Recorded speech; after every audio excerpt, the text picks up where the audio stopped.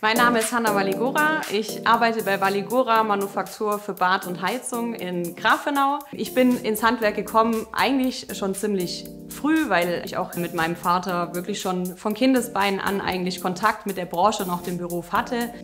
Durch mein Studium in der ähm, Hochschule Essingen mit Schwerpunkt Heizungstechnik hatte ich die Möglichkeit, äh, meinen Beruf in die Handwerkerrolle eintragen zu lassen und bin entsprechend dann einem Meister im Handwerk gleichgestellt, was mir natürlich unglaublich große Vorteile jetzt auch in der Unternehmensnachfolge bringt. Ich habe die Entscheidung auch nie bereut, weil einfach im Handwerk war es möglich, die eigenen Werte zu leben, die eigenen Werte weiterzugeben und einfach auch die Tradition hochzuhalten.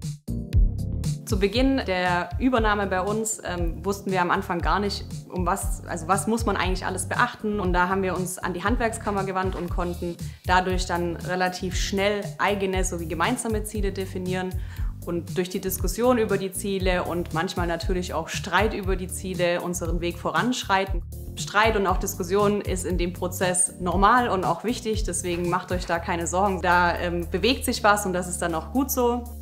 Der Prozess dauert nach wie vor an. Wir freuen uns jeden Tag, dass wir auch ähm, mit Junioren und Senioren gemeinsam in der Firma arbeiten können, eben Werte aufgreifen können, Traditionen aufgreifen können, Erfahrungen austauschen können. Und die Handwerkskammer begleitet uns auf diesem Prozess, sei es mit finanzieller Beratung, Beratung in der Rechtsform oder einfach die klassische Unternehmensberatung.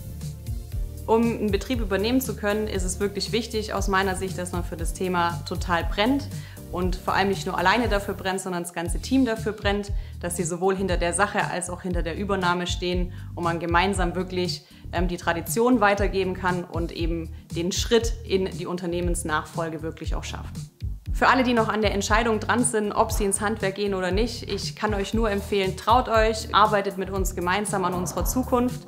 Ähm, man kann ganz gut Verantwortung hier übernehmen und das ist auch gewünscht. Wir können jede helfende Kraft ähm, gebrauchen, um eben das Handwerk weiter fortführen zu können.